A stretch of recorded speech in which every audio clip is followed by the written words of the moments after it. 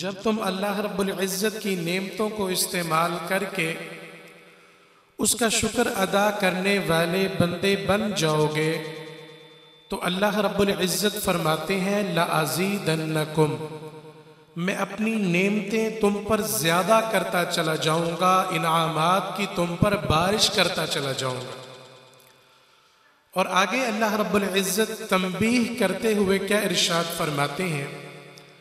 अल्लाह अहकमुल हाकिमीन ने साथ पे ये भी फरमा दिया कि ए ईमान वालो ए रूह ज़मीन पर ज़िंदगी को गुजारने वाले मेरे बंदो, इंसानों, लेकिन ये बात भी याद रखना, अगर तुमने मेरी नेमतों को इस्तेमाल करके रात की तरीकियों से फ़ायदा उठा के दिन के उजालों से फ़ायदा उठा के ज़मीन के हमवार बिछोने से फ़ायदा उठा के आसमान से फ़ायदा उठा के और आसमान से गिरने वाली बारिश के बूंदों और उसके कतरात से फ़ायदा उठा के और सूरज की तपश और उसकी हिद्दत और शिद्दत से फ़ायदा उठा के तुमने फिर भी मेरा शुक्र ना अदा किया, तुम ना शुक्री पर उतर आए, मेरी नेमतों का कुफर करने वाले बन गए। तो अल्लाह रब्बुल इज़्ज़त फरमाते हैं, नेमतों का तुम पर ज़्यादा करना, ये तो बड़ी दूर की बात है।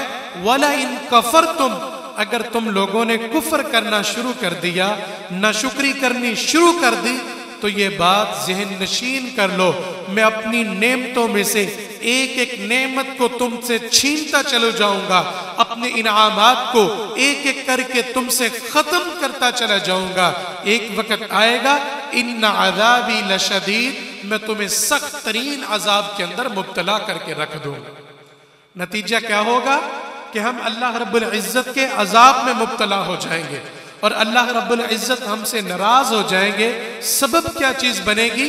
हमारी नाशुक्री, नेमत को इस्तेमाल करके अल्लाह रब्बुल इज़्ज़त की तरफ़ रुजू करना, उसकी तारीफात को बयान करना तहमीदात के गुन गाना और उसकी बड़ाई और किब्रियाई, यकताई को बयान करना। अल्लाह अकबर, अल्लाह की तारीफात और तहमीदात को छोड़कर नेमत भी उसी की इस्तेमाल करते हैं ना शुक्री भी उसी के साथ करते हैं। अल्लाह फरमाते हैं, जब तुम शुक्र करोगे, मैं ज़्यादा अता करूँगा और अगर कुफर करोगे, मैं एक एक करके तुमसे अपने इनामात और एहसानात को छीनता चला जाऊँगा और तुम्हारी ज़िंदगी के अंदर तुम्हारे ऊपर अजाब को मुसलत करता चला जाऊँगा